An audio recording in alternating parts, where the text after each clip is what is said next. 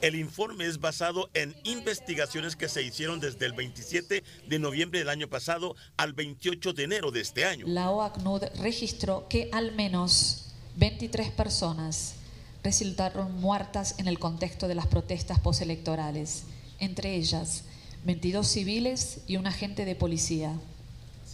Sobre la base de su observación,